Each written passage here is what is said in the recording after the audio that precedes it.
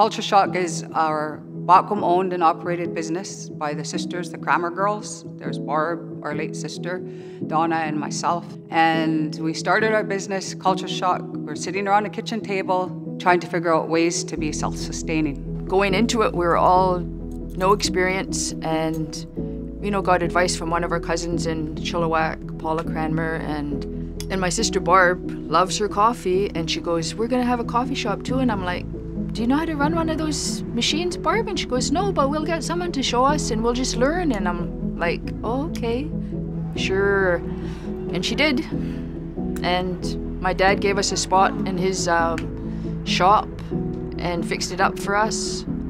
And yeah, we opened Culture Shock Originally, the plan was that um, we would have the things that we create in our store, and we also offer experiences, which are um, barbecuing salmon by the open fire, like how we do it traditionally, um, cedar weaving with myself, storytelling with my mom. Um, originally, we had our cousin Gyodi, who had a canoe, and you could go on a canoe ride with him, but we offer more than that because we come from a family who still practices our traditional ways that's been given to us since the beginning of time. And we've integrated all our traditional values and cultural ways into this current business called Culture Shock. When people come to Culture Shock, it, they become our friends.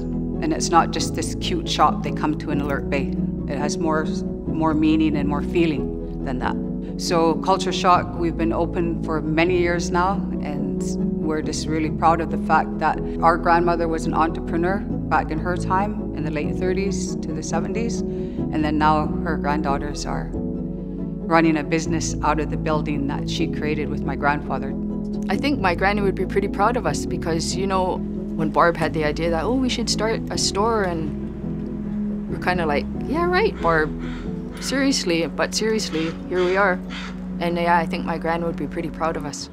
I kind of feel sometimes that our sister Barb, even though she's in spirit world and my granny's in spirit world and my grandpa, that they come around, they're around us. And I think they're pretty proud. A lot of the people who actually go through culture shock and, and work there and put in their work experience are, are females. And I think it's good to have that positive influence. We're really proud that all our people that work for us are Bachwum.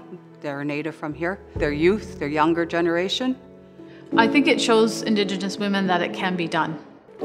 And um, it took a lot of hard work to get where they are, but they made it look relatively easy. They do everything with grace. They make it look easy with ease, and, and they always have a good heart. We always say one of our, our teachings is to carry a good heart, and I think they carry a good heart.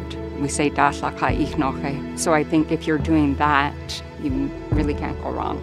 We just had a group of educators come from the Comox Valley and they did a two hour experience of cedar bark, two experience of storytelling. We fed them our good Bachum traditional food and it was just like they were just infused with all this culture and they couldn't believe it. And then we're hugging them at the end of the day and then they go on their merry way and they're just so happy.